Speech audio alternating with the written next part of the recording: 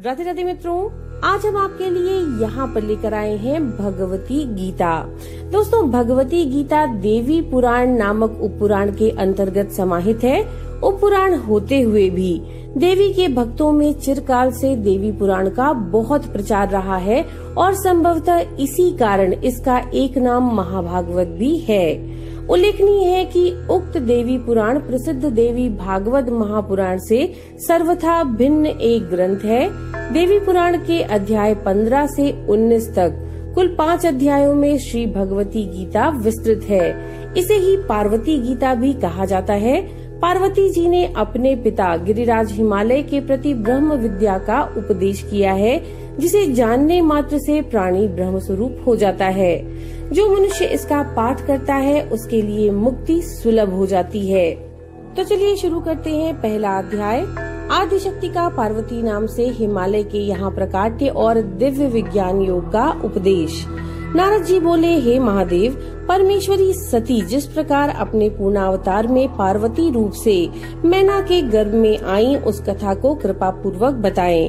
परमेश्वर यद्यपि उन जगदम्बा के जन्म कर्मादि की कथा अनेक पुराणों में सुनी गई है, तथा ज्ञात भी है, तथापि उसे मैं आपसे ठीक तरह से सुनना चाहता हूँ, क्योंकि आप इस वृत्तांत को ठीक ठीक जानते हैं महामते महादेव इसलिए कृपा करके विस्तार पूर्वक वह कथा कहें। श्री महादेव जी बोले, हे मुनिश्रेष्ठ, गिरिराज और उनकी पत्नी मैना देवी, त्रैलोक्य माता सनातनी और ब्रह्म रूपा दुर्गा देवी की महान उग्र तपस्या करके उन्हें पुत्री रूप में पाने की प्रार्थना की भगवान शिव ने भी सती के विरह से दुखी होकर उन्हें प्राप्त करने का अनुरोध किया अतः ब्रह्म रूपा जगदम्बिका स्वयं मैना के गर्भ में आई। तदनंतर देवी मैना ने शुभ दिन में कमल के समान मुख वाली, सुंदर प्रभा वाली जगन माता भगवती को पुत्री रूप में जन्म दिया। मुनिवर उस समय सर्वत्र पुष्प वृष्टि होने लगी। दसों दिशाओं में प्रकाश फैल गया और सुगंधित वायु बहने लगी। जब पर्वतराज ने सुना कि उनके यहाँ सुंदर कन्या ने जन्म लिया है जो करोड़ों मध्यान्ह कालीन सूर्य के समान तेजस्विनी, तीन नेत्रों वाली दिव्य स्वरूपा बड़ी बड़ी आँखों वाली आठ भुजाओं से युक्त और मस्तक पर अर्धचंद्र को धारण किए हुए है तो उन्होंने जान लिया कि सूक्ष्म परा प्रकृति ने ही अपनी लीला से उनके यहाँ अवतार ग्रहण किया है।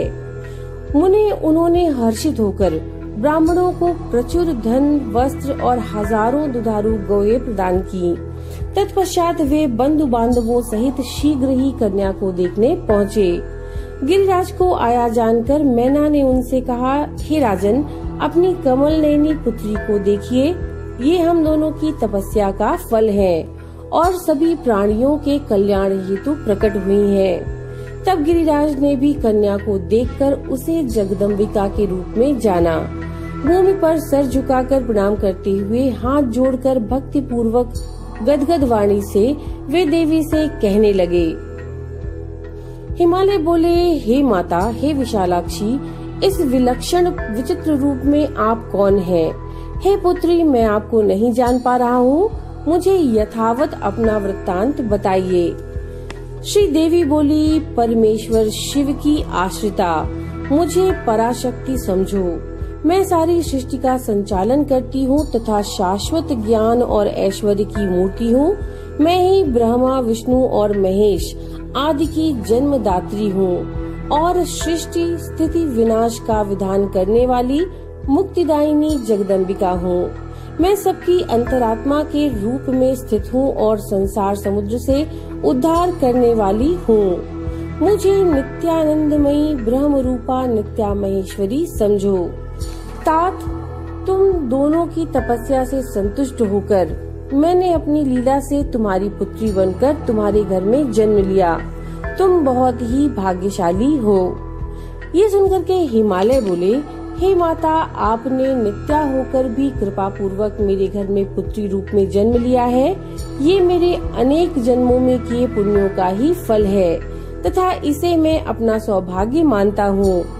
मैंने आपका यह रूप देख लिया। अब आप परात्पर भगवती का दिव्य शिव प्रिया रूप मुझे कृपा पूर्वक शीघ्र ही दिखाएँ। हे विश्वेश्वरी, आपको नमस्कार है। श्री देवी बोली, पिताजी, मैं आपको दिव्य चक्षु प्रदान करती हूँ, जिससे मेरे ऐश्वर्यशाली रूप के दर्शन करके आप अपने हृदय का संशय मिटा लीजिए और मुझे ही सर्व देवमयी समझिए। श्री महादेव बोले, ऐसा कहकर गिरिराज हिमवान को दिव्य दृष्टि प्रदान करके जगदम्बा ने अपने अलौकिक माहेश्वर स्वरूप के दर्शन कराए। उनका वह ज्योतिर्मय रूप करोड़ों चंद्रमाओं की प्रभा से युक्त था। उनके मस्तक पर अर्धचंद्र की सुंदर लेखा विराजमान थी। उनके हाथ में श्रेष्ठ त्रिशूल और मस्तक पर जटाएँ सुशोभित हो रही थीं।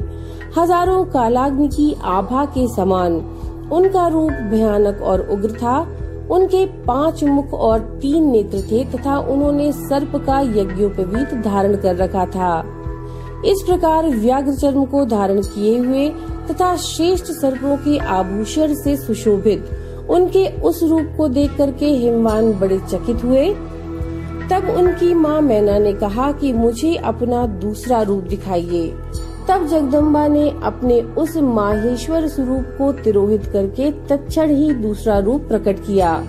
मुनि श्रेष्ठ उस सनातनी विश्व रूपा जगदम्बा की आभा शरत काल के चंद्रमा के समान थी। सुंदर मुकुट से उनका मस्तक प्रकाशमान था। वे हाथों में शंख, चक्र, गदा और पद्म धारण किए हुए थी। उनके तीन सुंदर नेत्र थे। उन्होंने दिव्य वस्त्र, माला और गंधानुलेपन धारण कर रखा था। वे योगींद्र वृंद से वंदनीय थी और उनके चरण कमल अति सुंदर थे, तथा अपने हाथ, पैर, आँख, मुँह, सर आदि दिव्य विग्रह से वे सभी दिशाओं को व्याप्त किए हुए थी। इस प्रकार के परम अद्भुत उस रूप को देख करके हिमवान ने अपनी कन्या को पुनः प्रणाम किया और विस्मय पूर्ण विकसित नेत्रों से उन्हें देखते हुए वे बोले, हिमालय बोले, माता आपका ये श्रेष्ठ रूप भी परम ऐश्वर्य से संपन्न है, जिसे देखकर मैं चकित हूँ, मुझे तो कोई अन्य ही रूप दिखाइए। परमेश्वरी, आप जिसकी आश्रय है, वह व्यक्ति निश्चय ही अशोची और धन्य है। माँ कृपा पूर्वक मुझ पर अनुग्रह करें, आपको बारंबार नमस्कार है। श्री महादेव जी बोले, अपने पिता पर्वतराज के द्वारा ऐसा कहने पर जगदम्बा पार्वती ने अपने उस रूप को भी समेटकर एक दिव्य रूप धारण किया। नील कमल के समान सुंदर श्याम वर्ण एवं वनमाला से विभूषित, उस रूप की चारों भुजाओं में शंख, चक्र, गदा और पद्म सुशोभित थे। उनके उस रूप को देखकर शैलराज हाथ जोड़कर अत्यंत हर्ष पूर्वक ब्रह्मा विष्णु तथा शिव स्वरूपा सर्वदेवमयी उन आदिशक्ति जगदम्बा का इस स्रोत से स्तवन करने लगे। हिमालय बोले हे माता आप प्रसन्न हो। आप परम शक्ति हैं, आप में सब कुछ सन्निहित है। आप ही इस चराचर जगत की अधिष्ठात्री और परम आश्रय हैं। हे देवी आप ही सब कुछ है। इस त्रिभुवन में आपके अतिरिक्त अन्य कोई तत्व विद्यमान नहीं है। आप ही ब्रह्मा विष्णु और महेश हैं और आप ही पराशक्ति हैं। आप अचिंत लीला का वर्णन आपकी भला मैं कैसे करूँ, जिसका ब्रह्मादि भी पार नहीं पा सकते हे विश्वेश्वरी आप ही स्वाहार रूप से सब देवताओं की तृप्तिकारी का स्वधार रूप से पितरों की तृप्ति का कारण और महादेव प्रिया है आप ही हव्य और कव्य है आप ही नियम, यज्ञ, तप और दक्षिणा है आप ही स्वर्गादि लोकों को प्रदान करने वाली हैं तथा समस्त कर्मों का फल प्रदान करने में आप ही समर्थ हैं। हे महादेवी, आपको प्रणाम है माता, जिस आपके पर से भी परतर सूक्ष्मतम रूप का योगजन शुद्ध ब्रह्म के रूप में वर्णन करते हैं शिवे वह आपका मोहक रूप, मन और वाणी के लिए अगम्य और त्रैलोक्य का मूल कारण है। हे वरदायिनी भगवती, मैं आपको भक्ति पूर्वक प्रणाम करता हूँ। हे विश्वेश्वरी, मेरी रक्षा करें। जगदम्बे, आप सहस्त्रों उदीयमान सूर्यों के समान आभा वाली, आठ भुजाओं से युक्त विशाल नेत्रों वाली एवं मस्तक पर चंद्र रेखा से सुशोभित है तथा आप कल्याणकारिणी ने लीला पूर्वक स्वयं ही मेरे घर में जन्म लिया है। उदीयमान करोड़ों चंद्रमाओं की शीतल कांति से युक्त नैनों वाली त्रिनेत्रा बाल स्वरूपा आप भगवती जगन माता को मैं भक्ति पूर्वक प्रणाम करता हूँ। आप प्रसन्न हो। हे शिवे, आपका रूप चांदी के पर्वत की कांति के समान उज्जवल है। आप सर्पराज का सुंदर आभूषण धारण किए हैं। दुर्जनों के लिए भय उत्पन्न करने वाले पाँच मुख कमलों और भयानक तीन नयनों से आप सुशोभित है। अर्धचंद्र सहित जटाजूट को अपने मस्तक पर धारण कर रखा है। हे शरण दात्री हे विश्व जननी आपको भक्ति पूर्वक मैं प्रणाम करता हूँ। अंबिके, आप प्रसन्न हो। भवानी कोटि शरद चंद्र के समान उज्जवल रूप और दिव्य वस्त्राभरणों से आप सुशोभित है। आपका जगन मोहन रूप चार दिव्य भुजाओं से युक्त है। ब्रह्मादि समस्त देवगण आपकी स्तुति करते हैं। हे माता, आपके चरण कमलों में मैं भक्ति पूर्वक प्रणाम करता हूँ। आप प्रसन्न हो।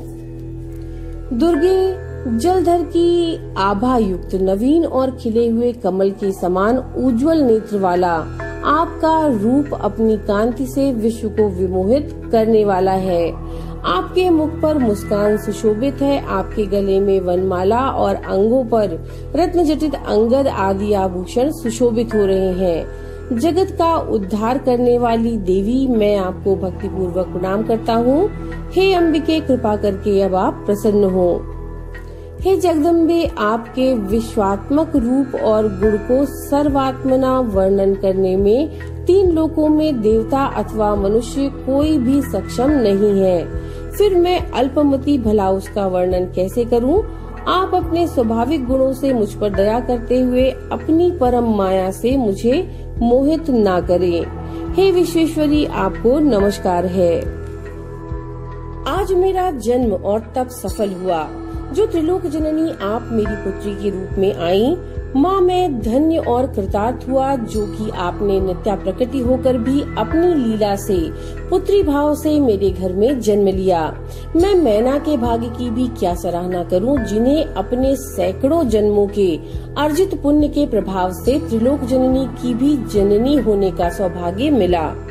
श्री महादेव जी बोले, मुने इस प्रकार गिरिराज हिमालय के द्वारा प्रार्थना करने पर पर्वतराज पुत्री सहसा पूर्व के समान सुंदर रूप में हो गई।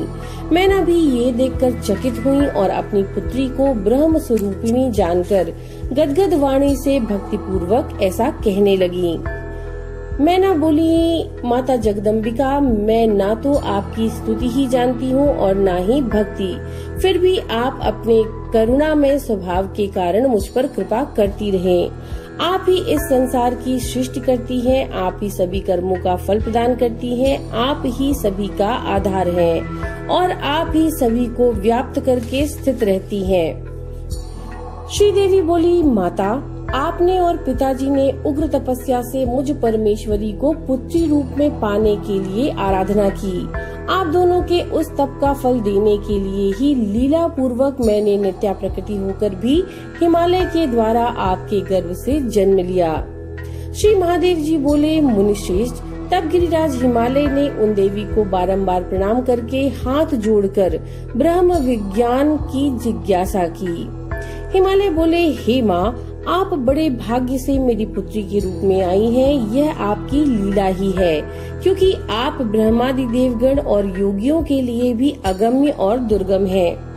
हे महेश्वरी, मैं आपके चरण कमलों की शरण में हूँ। माँ, क्योंकि आप काल की भी काल हैं, इसलिए आपको लोग महाकाली कहते हैं। आप मुझे कृपा पूर्वक उस उत्तम ब्रह्म विद्या की शिक्षा दें, जिससे मैं इस अपार संसार सागर को सरलता पूर्वक पार कर जाऊँ। श्री पार्वती जी बोली, पिताजी, महामते, सुनिए, मैं उस योग का सार बताती हूँ, जिसके जानने मात्र से प्राणी ब्रह्म स्वरूप हो जाता है सदगुरु से मेरे मंत्र को ग्रहण करके, स्थिर चित्त होकर के साधक को शरीर, मन और वाणी से मेरा ही आश्रय ग्रहण करना चाहिए मोक्ष को चाहिए कि वह मेरे में ही चित्त और प्राण को लगाए रखे। तत्पश्चात तत्परता पूर्वक मेरे नाम का जप करता रहे, मेरी गुण और लीला कथाओं के श्रवण में लगा रहे। वह मुझसे वार्तालाप करने वाला हो और मुझसे शाश्वत संबंध बनाए रखे। तथा राजेंद्र, वह उत्तम साधक, मेरी भक्ति में परायण होकर अपना चित्त मेरी पूजा के प्रति अनुरक्त रखे। उसे श्रुति तथा स्मृति में बताए गए अपने वर्णाश्रम धर्म के अनुसार विधि विधान से मेरा पूजन और यज्ञ आदि संपन्न करना चाहिए। सभी यज्ञ, तप और दान से मेरी ही अर्चना करनी चाहिए। ज्ञान से मुक्ति होती है और भक्ति से ज्ञान होता है। धर्म से भक्ति का उदय होता है और यज्ञ, यज्ञादि कर्म के ही रूप है। इसलिए मोक्षार्थी को धर्म रूपी यज्ञार्चन आदि के लिए मेरे इस रूप का आश्रय लेना चाहिए।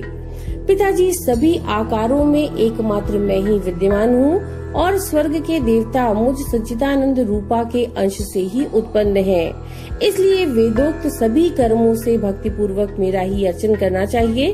बुद्धिमान व्यक्ति को अन्य कोई भी विचार नहीं करना चाहिए। इस प्रकार अनासक्त भाव से कर्मों को संपन्न करके विशुद्ध अंतकरण वाले मोक्षार्थी साधक को आत्मज्ञान की प्राप्ति में निरंतर प्रयत्नशील होना चाहिए। पुत्र मित्रादि से संबंधों में अनासक्त होकर वेदांतादि शास्त्रों के अभ्यास में दत्तचित रहना चाहिए। ऐसे साधक को काम क्रोध आदि विकारों का तथा सभी प्रकार की हिंसा का पूर्ण रूप से त्याग करना चाहिए। ऐसा करने से उसे निसंदेह पराविद्या का ज्ञान प्राप्त हो जाता है। महाराज, जब इस आत्मा की प्रत्यक्षानुभूति होती है, उसी क्षण मुक्ति हो जाती है। यह निश्चित सत्य की बात मैं आपके लिए बता रही हूँ। किंतु पिताजी मेरी भक्ति से विमुख प्राणियों के लिए ये प्रत्यक्षानुभूति अत्यंत दुर्लभ है। इसीलिए मोक्ष साधकों को यत्न पूर्वक मेरी भक्ति में ही संलग्न रहना चाहिए। हे महाराज, आप भी मेरे बताए अनुसार करेंगे तो संसार के सभी दुखों से कभी भी बाधित नहीं होंगे। इति श्री देवी पुराणे भगवती गीतायाम श्री पार्वती हिमालय संवादे प्रथमो अध्याय। नमो नारायण।